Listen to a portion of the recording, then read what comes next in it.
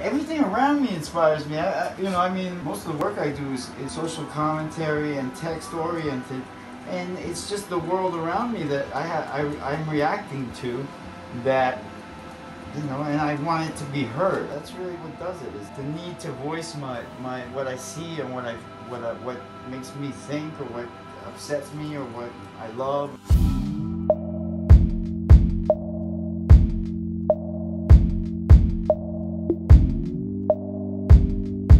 Let's talk about Samo for That was the work of me and Al Diaz, a guy named a kid named Al Diaz.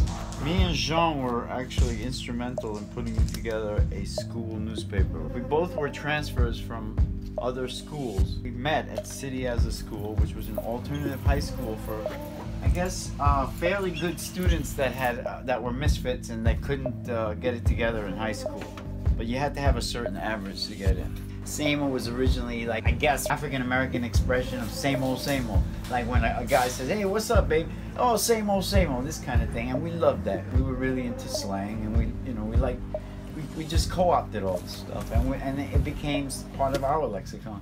What made you want to collab with D'Stassi?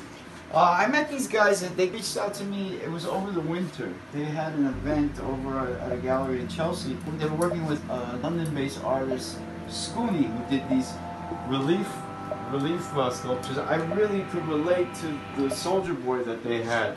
It's, kind of self-evident.